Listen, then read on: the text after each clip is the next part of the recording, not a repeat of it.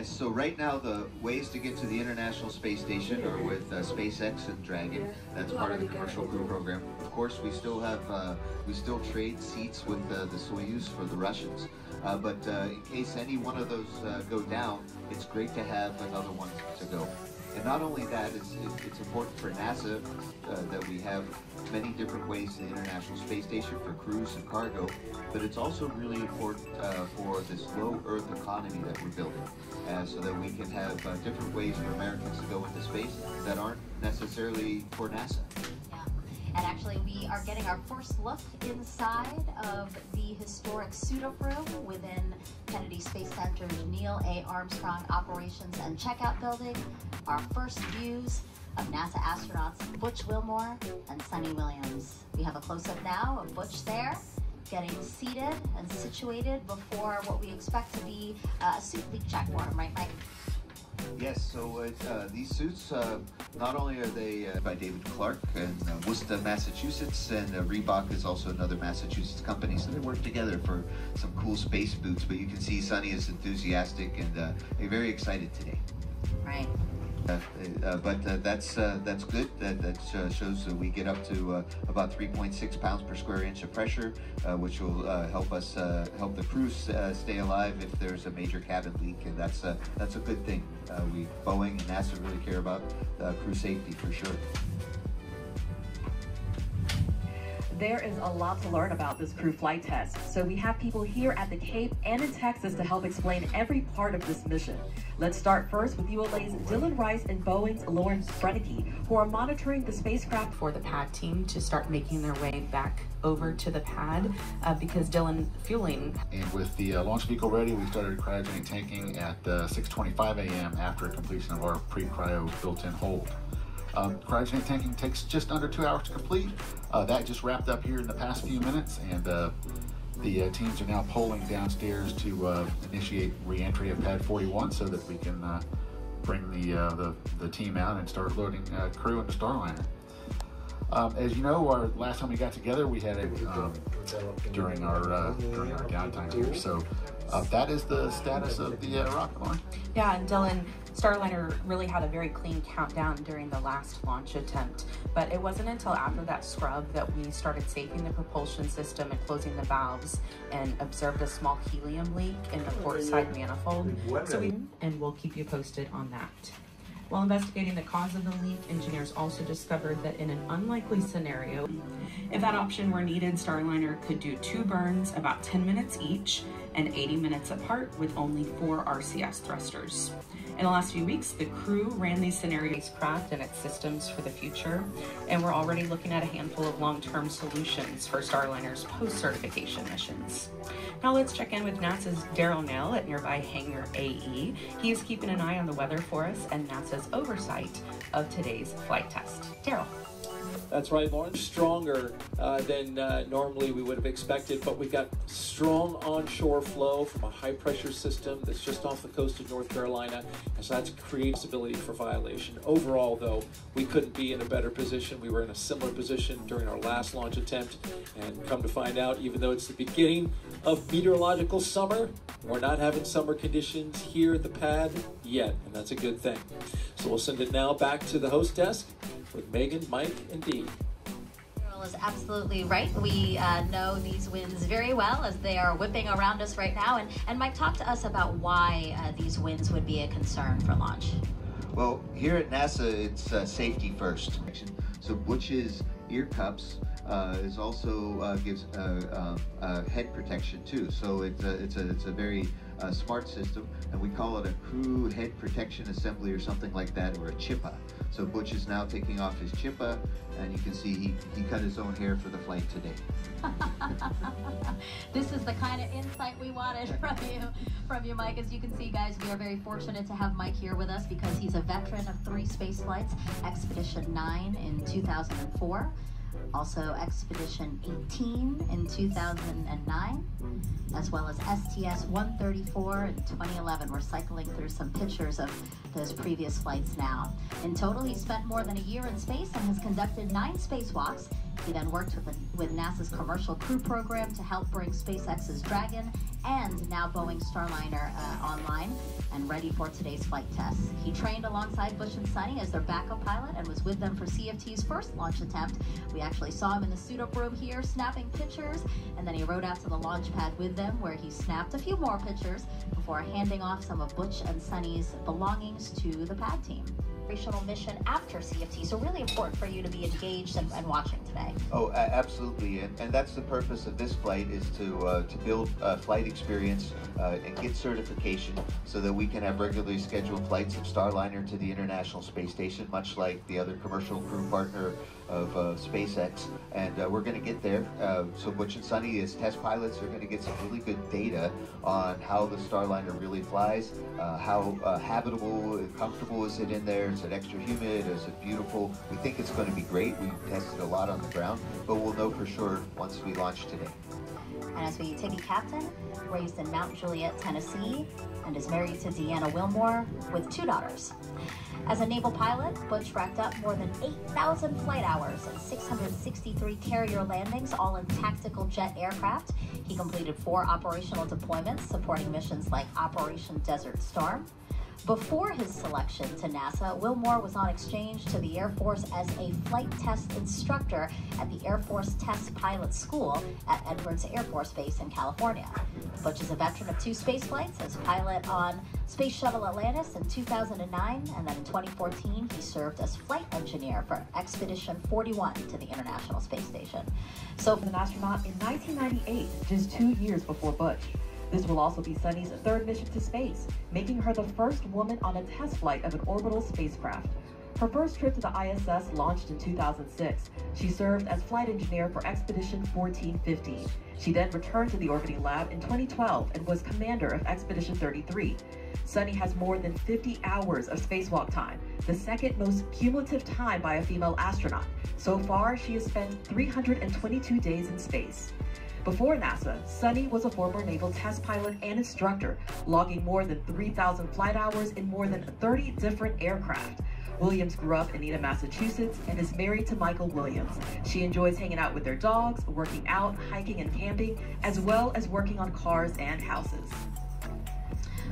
Both uh, very experienced. Plus 12 seconds, the rocket rolls, lining up Starliner with its target orbit and putting the astronauts in a heads-up position. Then, around T plus 40 seconds, max Q starts. That's also known as max aerodynamic pressure. This is a critical time when the atmospheric forces reach their highest. Next, at about plus 1 minute 35 seconds, the two solid rocket boosters run out of fuel and burn out, and about a minute later they separate from the booster. The Atlas booster engine continues to burn for almost two more minutes.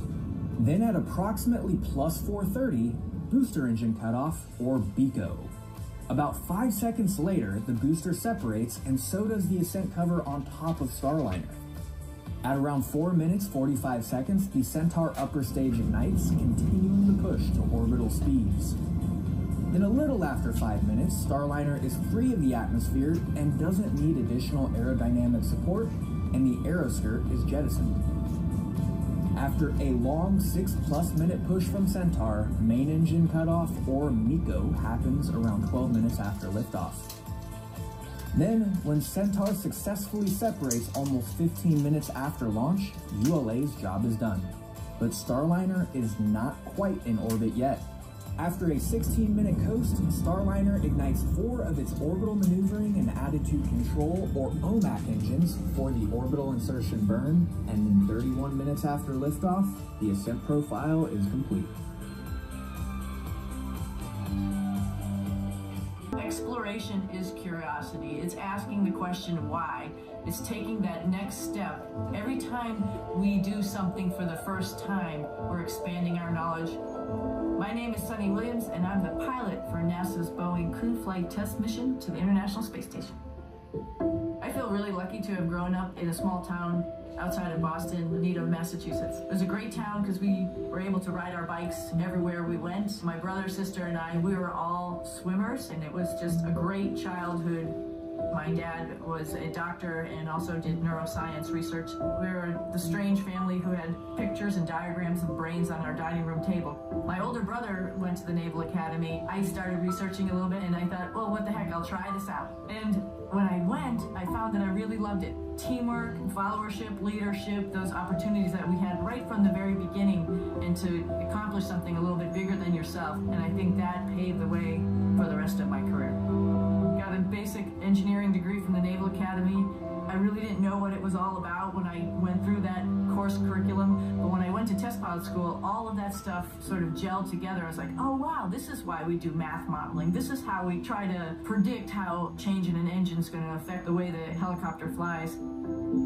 Time on the International Space Station is priceless. People always ask, you know, do you get bored or, you know, is it terrible being up there for a long period of time? And for me, I loved every minute. There was always something to do. You wake up, you look at your timeline like, wow, I got to do this experiment today. To get ready for a spacewalk. Every day was different. And just life on the space station becomes routine, which is sort of crazy to think about it. At one point in time on my first mission, I was like, I don't even remember really what it's like to walk.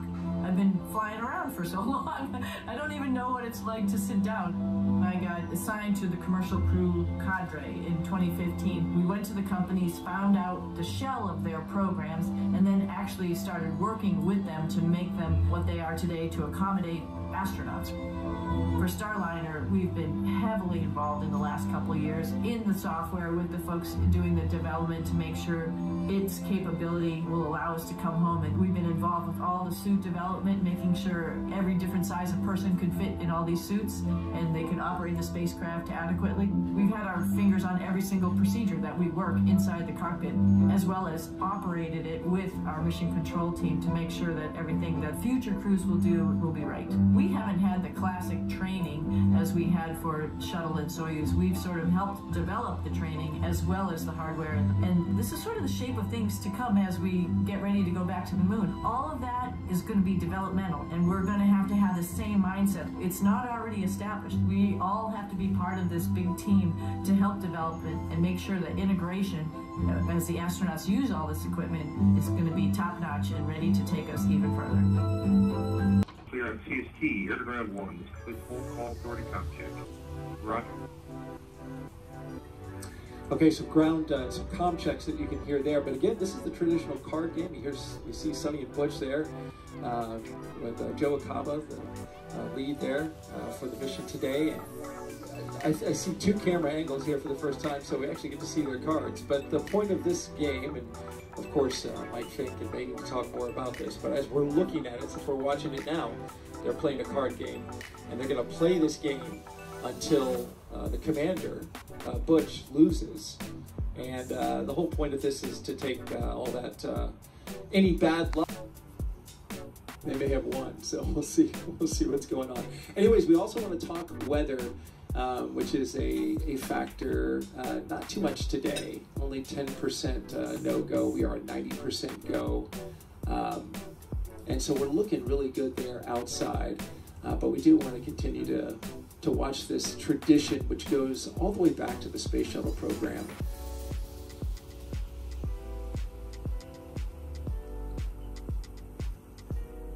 Butch observes there's plenty of time in the timeline for this.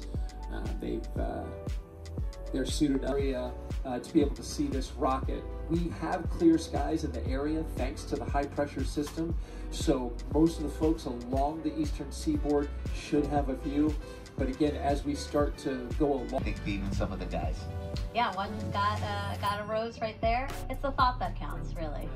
And uh, it's really, uh, they, they take such good care of us while in quarantine and Butch and Suni. LC Slick on you know, channel longer, one. Longer Go quarantine ahead. than usual. Hatch open ops complete. Confined space checks are nominal. Roger.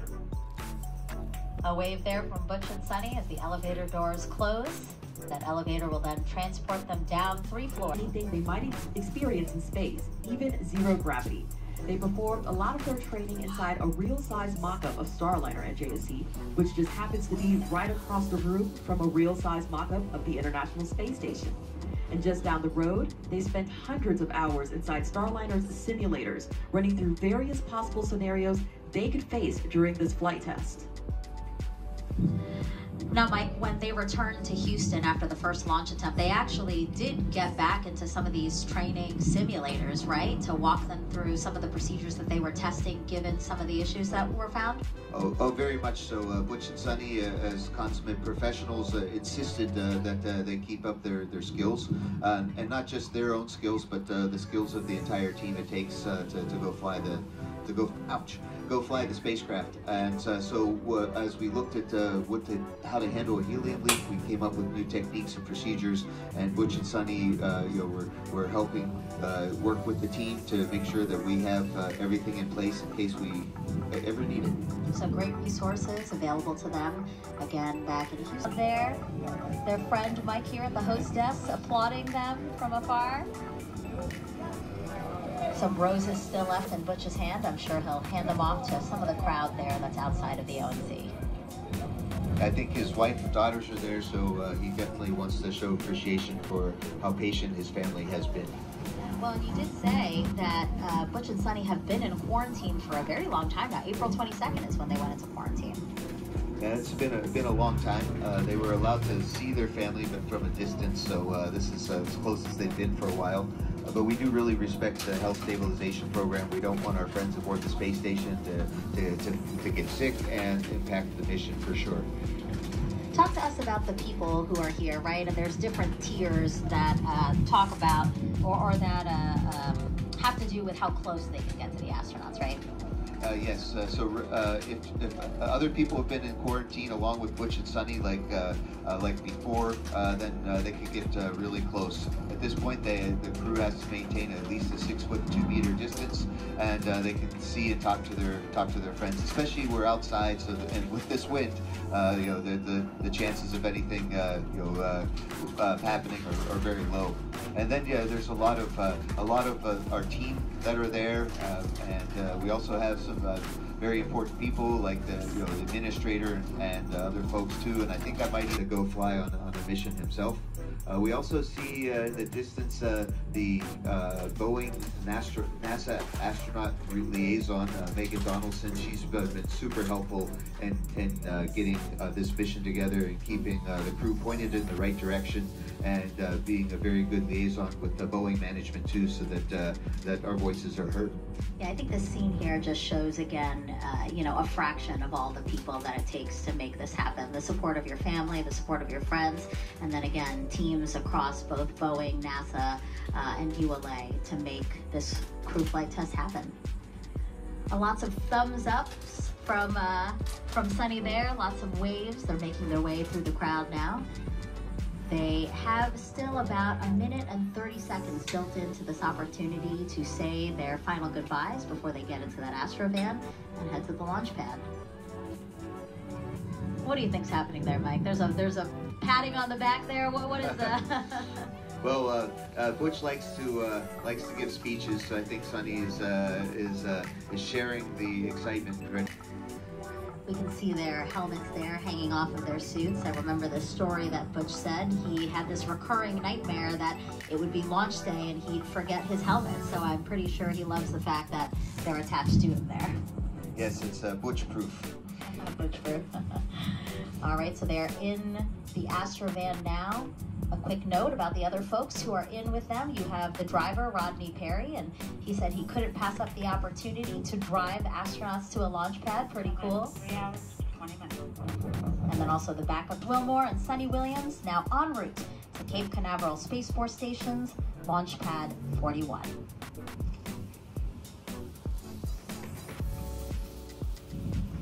And as both Butch and Suni make their way out to the pad, there's only one way for those two to get amped up for launch. And I know that Mike knows because he was inside the Astrovan with them on their first ride out to the pad on the first launch attempt.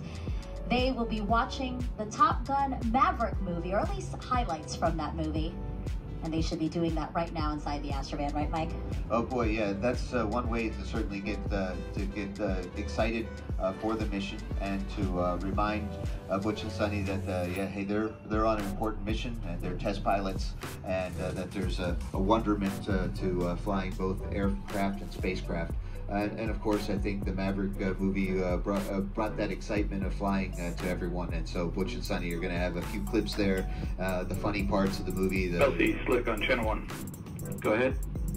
Crew transport convoy is en route to LC-41. Estimated arrival to roadblock at L-306. Roger. And a, a, fun fact was uh, on the last uh, ride. Uh, OSM, LC. OSM, go sir crew transport convoy is in route. Oh gosh, well I'm sure they appreciate it. You probably figured it out because they were able to watch it. So again, as mentioned before, uh, they probably really uh, relate to the movie. They're both experienced naval aviators. And here's actually a picture of Suni back in the day.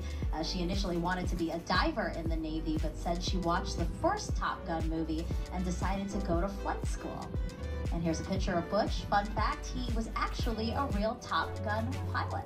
So you see him there on the far left of the photo. To the far right, actually, is Chris Ferguson. We were talking a little bit about him, right, Mike and, and Dee? And another fun fact is, you know, this. Thanks, Megan, and go Butch and Suni. Here in Houston, things have been going smoothly for the flight control team and mission control. Team here took control of Starliner a little less than an hour ago, and they've inside the Neil A. Armstrong Operations and Checkout Building at Kennedy Space Center lowered the Orion spacecraft into a vacuum altitude chamber with the help of a 30 ton crane. The chamber simulates deep space to test for any electromagnetic energy that could damage Orion as it travels away from Earth. Meanwhile, the Artemis II crew completed an underway recovery test at sea this exercise mimics Orion landing and recovery procedures when the crew splashes down in the Pacific Ocean off the coast of California. Navy divers and boats approached a mock-up Orion capsule and helped the astronauts into helicopters, which then flew them to a nearby naval ship, just like they'll do during the mission. Back at Kennedy and high above Launch Pad 39B, this 360 degree video takes you for a ride inside one of the Artemis emergency egress baskets. In the event of an emergency at the launch pad, astronauts and workers use this quick exit to get to safety. That's a look at your Artemis Moon Minute. It's really cool to see all the way along uh, the eastern coast of Canada where they do have some cool water temperatures. That's a factor when the rescue teams, should they abort, have to go into the water. But as we understand it, the DET teams, military. Go ahead. Yes, sir, for step 150. Crew transport convoys bearing roadblock 18. The protection of astronauts riding atop Atlas V by autonomously monitoring the health of all the launch vehicle systems. If the system detects an impending anomaly, it can trigger an abort much faster than any human could do so, uh, but the astronauts also have the capability to trigger an abort if required. Along with that EDS system, we have a dedicated Ascent flight control team on console in Denver uh, during the flight and uh, any human spaceflight mission that we support. Uh, this team monitors the health and performance of the rocket during ascent to space. Uh, our engineers provide real-time status and collaborate directly with NASA's flight director and mission control in Houston. When you hear the call sign Atlas, that's our ascent lead, and he'll be providing real-time telemetry data from the rocket and provide continued situational awareness. Crew is entering cat elevator. All right. Uh, and they went straight to the, uh, and they're going straight up, up, the elevator right now, straight to the rocket. And I, I just, I just know what it feels like stepping out of the, the Astrovan, and, and here they are, you know, ready, getting ready to uh, get inside. And it's just, uh, there, it's a, a great feeling of uh, satisfaction and accomplishment to be here at this day, at this time. This is something that the, the whole team has been working for, for for many years. You know it's different, obviously, since we're launching during the day, they had great views of the of the rocket on their way to the pad. So, like you said, they they probably uh, had their opportunity to look at their ride to space, and now they just want to get in. So now on level 12 of the crew access tower, We see Suni there with some of the pad team members. Butch went into that door there. That's a bathroom, and this is an important Yep. step in the countdown, obviously. Yeah, well, I I, uh, I was on Daniel Tiger, uh, a TV show, and we had an episode called "Go Before You Go," and so this is what we teach all of our kids: is uh, yeah, should before a long duration. Some phone calls. I just heard that they also made another phone call while on their way out. Uh, they called Mark. Made, and I'm glad he got a phone call. Yeah. A view of the crew access arm. From our helicopter that we have flying around the pad right now. We see Suni there on the railing taking a look out. Yeah, you could you can get a great view from up there. Who needs to get out of the Astrovan and recline up? So uh, yeah, this is the last time for for a while that Suni's gonna have the the breeze in her face and the smell of the ocean air and uh, and the joys of being on planet Earth. Uh, now she's gonna see it all from from a great distance. and here it looks like Butch is now back with the pad team LC and Slick on launch ops. An ordained minister, probably Or leading sorry, on, uh, channel her one. prayer now. Ingressing into the spacecraft and launching to the International Space Station. Well, they just uh, cleared the crew transport vehicle to go away, so Butch and Suni are stuck there now. So they might as well go launch. And here they are walking across the crew access arm. Butch stopping to take a quick look at his spacecraft and launch vehicle.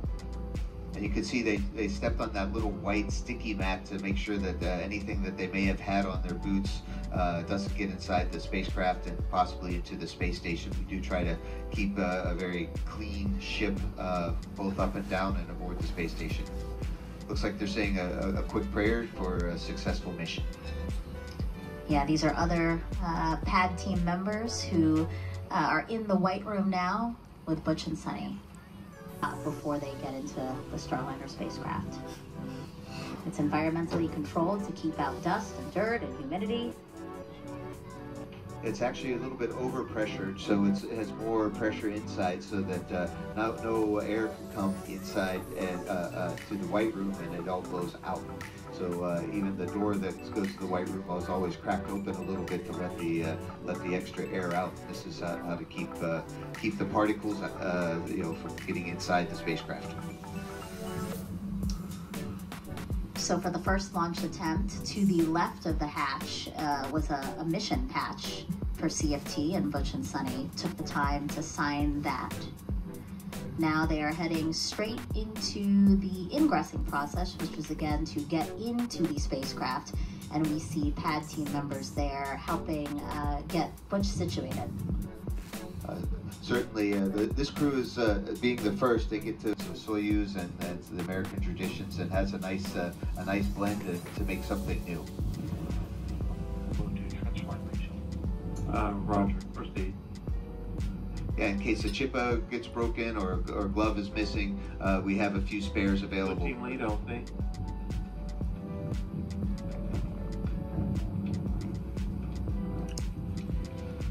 The uh, launch conductor is calling.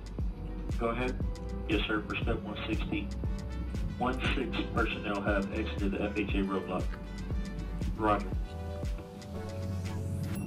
Just a call out there to mark that folks have uh, left uh, the pad uh, as well as the flight hazard area. So the area that's designated is where we don't want people to be if they don't have to be. So that's that call out there. And now we are watching Butch uh, getting settled into Starliner. And uh, Suni is currently outside. What we'll see is uh, uh, Butch will fully ingress and get himself situated before Suni ingresses. So to walk us through uh, what we're about to see with Butch, let's head back over to the ASOC with Lauren and Dylan. Hey Megan, yeah, we just saw a Butch sort of slide across the seats there to get into his captain seat. Um, that is what this first position is known here as.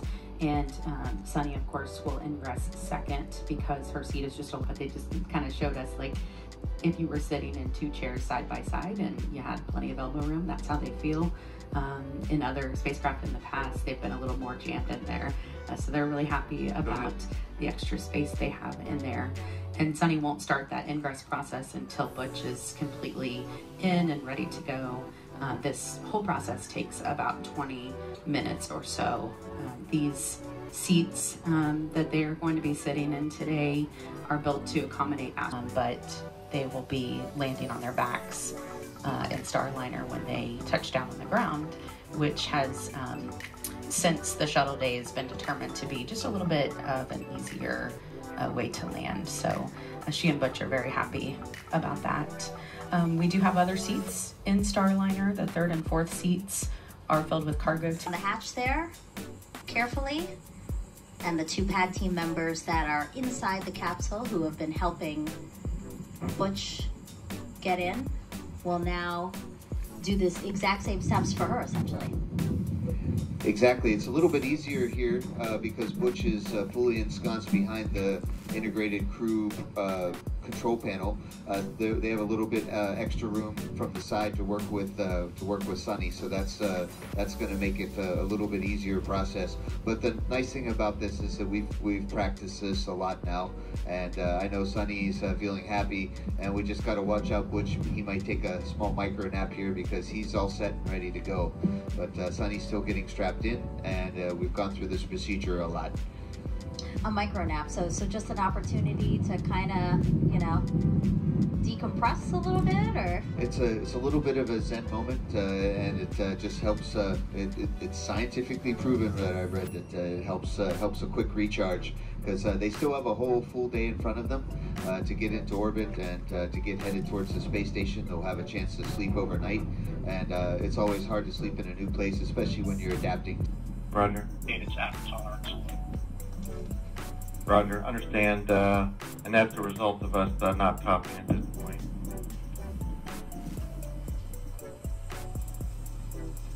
Are all four, four of those uh, OTCs Delta V related? Yes, sir, they are. Yes. Okay, uh, let's continue to monitor that while we're uh, troubleshooting the uh, the topping valve.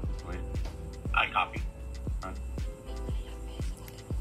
Think there was uh, some conversation that talked about uh, you know, with the, the, stop they stopped topping the, the second stage, the Centaur uh, tanks. So they're uh, uh, they're receiving some uh, some more telemetry saying, "Hey, we're not being topped right now," and so they're saying, "Yep, that's that that makes sense to us. We're gonna they're going to continue troubleshooting." So if you remember, Butch ingressed first, and then Suni stayed in the white room. While she was in the white room, she made a phone call to Zach Brandon, and he's the lead technician on Starliner's crew module.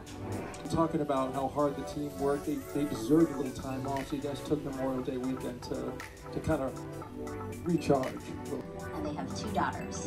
As a naval pilot, Butch racked up more than 8,000 flight hours and 663 carrier landings, all in tactical jet aircraft. He completed four operational deployments supporting missions like Operation Desert Storm. Before his selection to NASA, Wilmore was on exchange to the Air Force as a flight test instructor at the Air Force Test Pilot School at Edwards Air Force Base in California. Butch is a veteran of two space flights as a pilot on Space Shuttle, Shuttle Atlantis in 2009, and then in 2014 he served as flight engineer for Expedition 41. And so far, Wilmore has spent 178 days in space and performed four spacewalks. This flight test will be his third mission to the ISS and Suni Williams, CFT's pilot and a retired U.S. Navy captain. NASA selected her as an astronaut in 1998, just two years before Butch. So this will be Suni's third mission to space, making her the first woman on a test flight of an orbital spacecraft. Her first trip to the ISS launched in 2006. She served as flight engineer for Expeditions 1415. She then returned to the orbiting lab in 2012 and was commander of Expedition 33. Suni has more than 50 hours of spacewalk time, the second most cumulative time by a female astronaut. So far, she has spent 322 days in space. Before NASA, Suni was a former naval test pilot and instructor, logging more than 3,000 flight hours in more than 30 different aircraft. Williams grew up in Needham, Massachusetts, and is married to Michael Williams. Starliner Houston on one. Uh, good pressure. The side hatch is being configured now. Audible noises may be heard. Stand by. Leak check complete. You can open the vent valve. All right, great. That's in work. We're commanding Alpha um, on and then off at this time. More to follow. All right. Yes, we see it. And we're still visors up, so you know. All right. So you hear this troubleshooting happening in real time. They are moving forward with everything else while they troubleshoot. Starliner on internal power now. The spacecraft is running completely on its own. Ordnance has also been configured for launch. That means the devices that initiate our separation yeah, we events. reactivated uh, Tucson Bravo, Tucson Alpha, also working to clear LCC condition. And uh, for the crew, you can take visors down. Visors down and ordnance increase. LC copies both. All right, it's got to feel good to put those visors down now.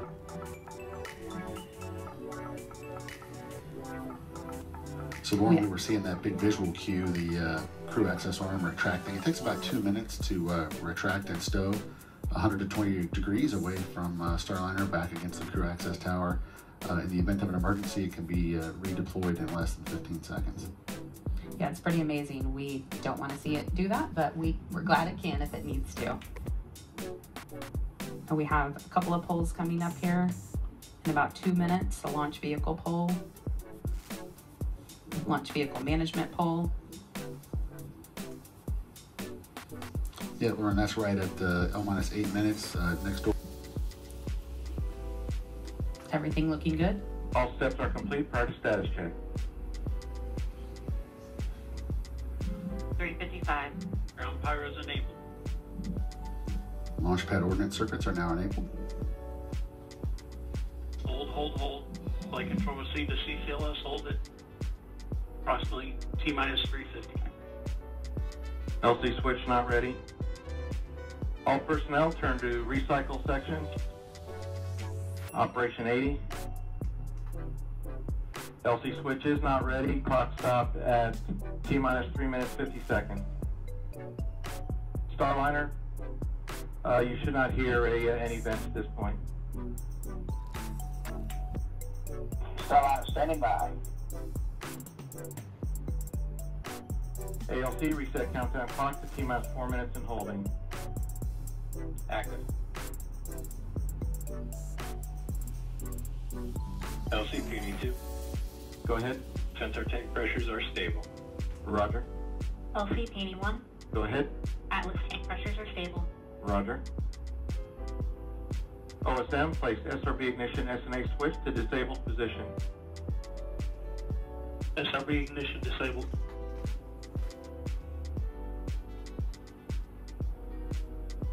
Okay, consoles, uh, step 60, report launch vehicle status.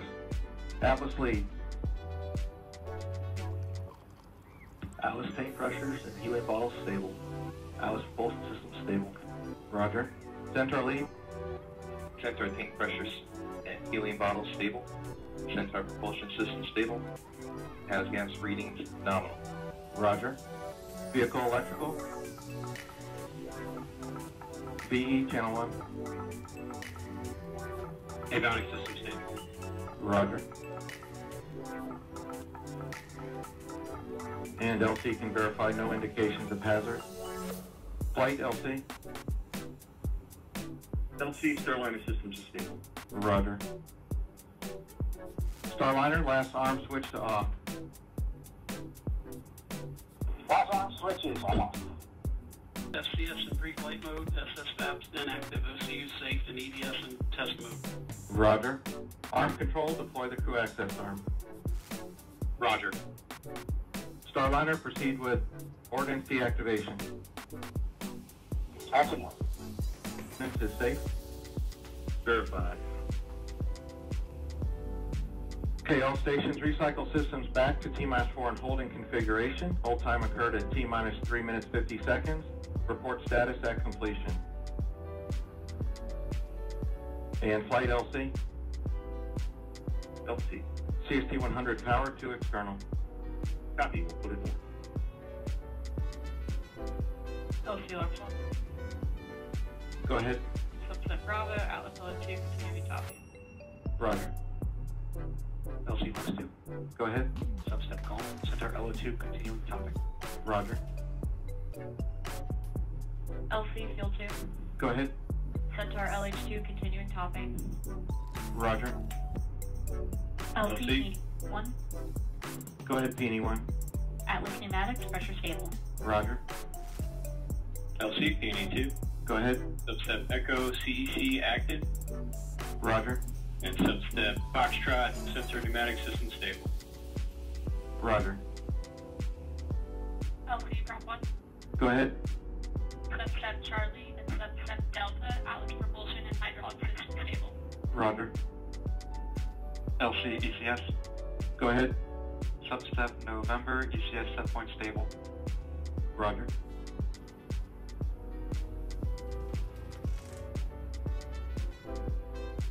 LC is flight control. Go ahead. Substep Kilo, flight control ready. Roger.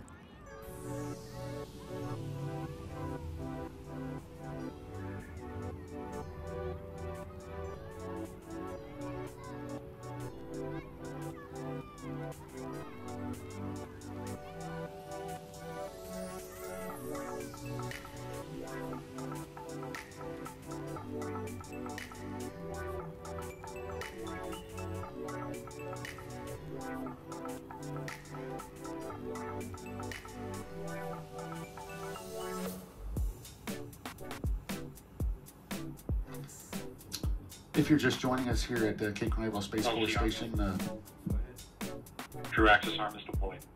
Roger.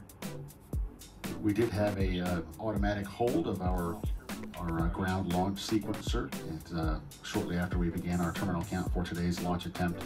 Uh, no indication yet as to uh, what caused that hold of the uh, automatic ground launch sequencer. The team is still evaluating data. In the meantime, the uh, the team is active uh, recycling the vehicle to a, uh, um, a a good holding state so that we can prepare for our uh, next steps. LC has gas. Go has gas. Substep hotel has gas. Normal scan pattern including cat. Roger.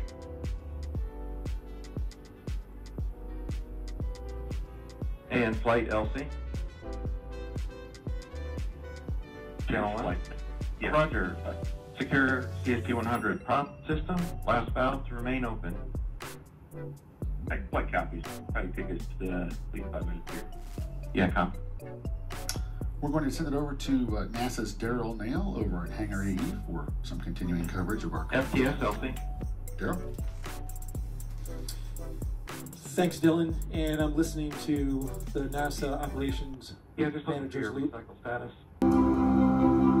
The mission of the Commercial Crew Program is to provide transportation for astronauts to the International Space Station. Multiple providers provides you redundancy. Redundancy is important, as we know. In our systems, we have redundant systems. But actually, more importantly, it's providing the aerospace workforce the opportunity to test out new ideas, new technologies, and work them into spacecraft. Uh, Butch and I are the first two to fly the Starliner, so this flight will be a crew flight test. So there'll only be two on board. We're gonna fly it up to the space station, dock it, and test it all out, and then come back home. Everything's new. The procedures are new. We have procedures now that we didn't have a year ago because we've learned as the process has gone forward. We've had two test flights uncrewed previously, but this will be the first time we're putting people on it. We're test pilots, and so we're going to be testing the spacecraft in all aspects of the flight, from launch, on orbit, all the way to entry and landing. We're testing out the environmental control system, we're testing out the manual flying of the spacecraft. Then, while we're docked to the space station, we have a bunch of tasks to make sure that the spacecraft can act as a lifeboat. Just in case anything bad goes on on the International Space Station, the crew on board can come to the Starliner and make sure that they're okay. This has a mode where we call it backup mode, which is your get home mode, if you will. We can, without any communication at all, we can still effect a, a return to Earth, do a deorbit burn, and hit the, the point where we're trying to land, even without our computers. You know, that old mantra, failure is not an option, because it's a very dynamic thing we do flying in space, and uh, it's not very forgiving. And we know that, and that's why we have these multiple systems and multiple redundant capabilities, because human life is special, and we want to preserve it at all costs. I think exploration is just in the human heart. Butch, he describes himself as the first thing he said as a kid was why. And I think that's in all of us. Maybe we don't verbalize it, but we all ask why, and that's what exploration is. It's that next step of why. So why not go back to the moon? Why not try to live on the moon? It seems like a natural stepping stone to the next thing, Mars, which just calls us. Like, why is that planet there? What is the future of that planet? What is the future of our planet? And to be able to take these next steps in exploration, we're going to start answering those questions. We stand on the pinnacle. This is kind of where all everything, integration, everything comes together, which is where Suni and I sit. And this is just a part of the ongoing process of growing and expounding our knowledge and our understanding of all things for the benefit of mankind. I am Suni Williams, and I am ready to fly NASA's Boeing Crew Flight Test. I'm Butch Wilmore, and I am ready to fly NASA's Boeing Crew Flight Test.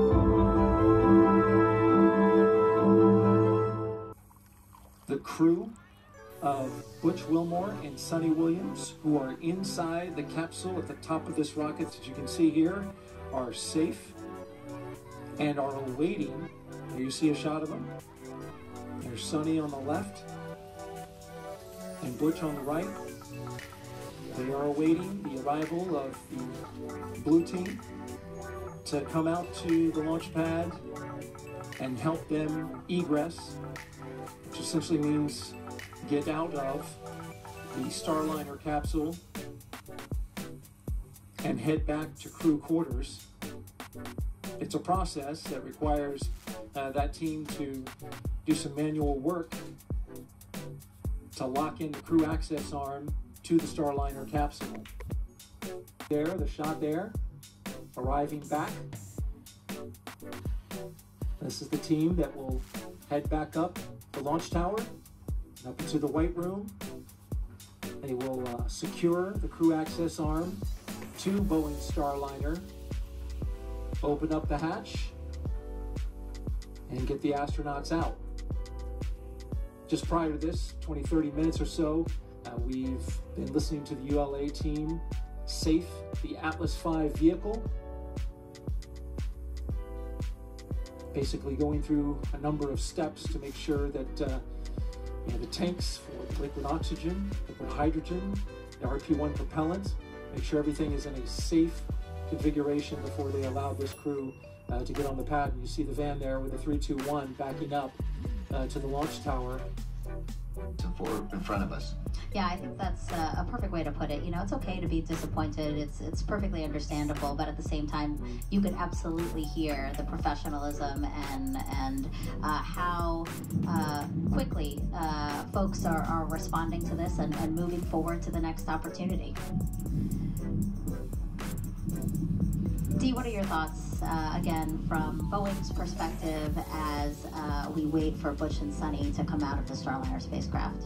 Uh, you know, of course, I think it echoes what we've all heard. You know, this is disappointing. We really wanted to see a liftoff today, but you know, a, a reminder today, even during uh, this attempt, you know, it takes dozens, if not hundreds, of things to go right for us to get to T minus zero. You know, that wasn't today, but the good news is we get to try again. So, you know, teams, I'm sure at this point, are focused on. Uh, the scrubbing uh, sequence and, and the you know all the things we have to do to to try again tomorrow or whatever that date may be. Um, so we're focused and um, you know just going through the process, a, a simulations, you know, you know, a process we've gone through through many many simulations. Um, until again we, we get to try to do this again. Looks like uh, Suni is out of the spacecraft and uh, she's going to put some protective covers uh, on her on her shoes and uh, and uh, we'll take her uh, some items from her for her put it back in her helmet bag and it looks like uh, Butch is, is, is about to be heading out also. they're going to they're going to go back to crew quarters at this time and get ready to do it again when when the time is right.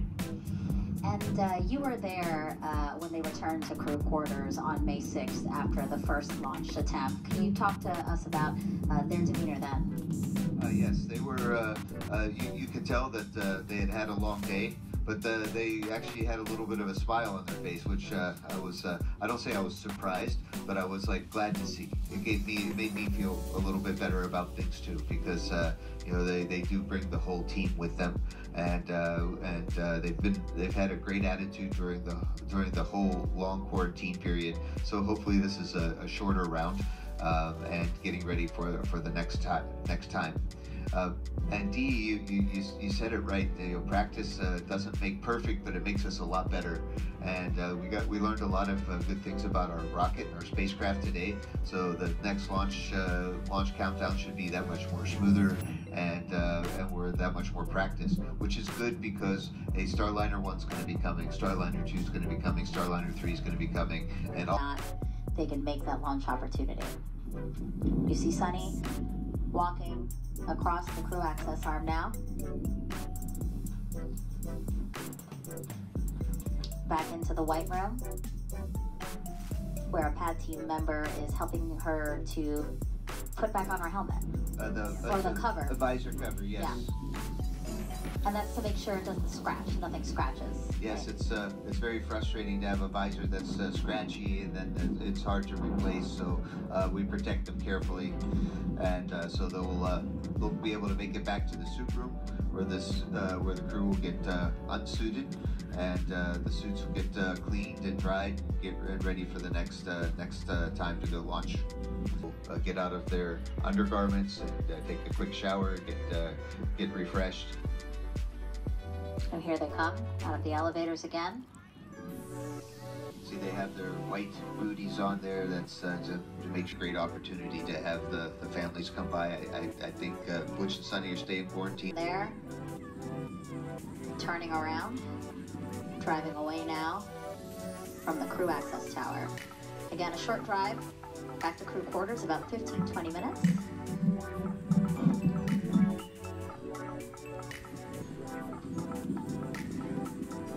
Launching NASA's Boeing crew flight test.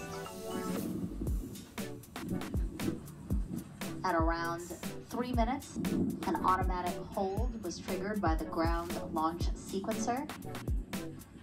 And that GLS for short is the computer that launches the rocket because it controls all the systems needed in the final moments of the countdown. So if you remember when we were in terminal count and you heard the teams calling out uh, and saying, you know, this is done, this is done, kind of ticking off things off the checklist. It was the ground launch sequencer, right, Mike? That was that were, were triggering all of those of those steps. Test instructor, and he is a veteran of two space flights as pilot on Space Shuttle Atlantis in 2009 and then in 2014, he served as a flight engineer for Expedition 41. So CFT will be his third mission to the ISS. And then Joining us, uh, there was uh, uh, a decision to stand down from today's launch attempt at 12:25 p.m. Eastern of NASA's uh, Boeing crew flight test. Uh, we have walked you through uh, the, the the hours leading up to that decision to stand down, and also so that we could watch Butch and Suni get out of the Starliner spacecraft, and now they are safely back at crew quarters. before we wrap up, again, thank you everyone for watching. We have a press conference planned for 3 p.m Eastern Time on NASA Plus, NASA TV, our social media channels, where again we will share anything that we can with you about uh, the developing uh, situation we have uh, here at, uh, at uh, Kennedy Space Center. But for now, thank you again for watching, and we'll see you when we launch.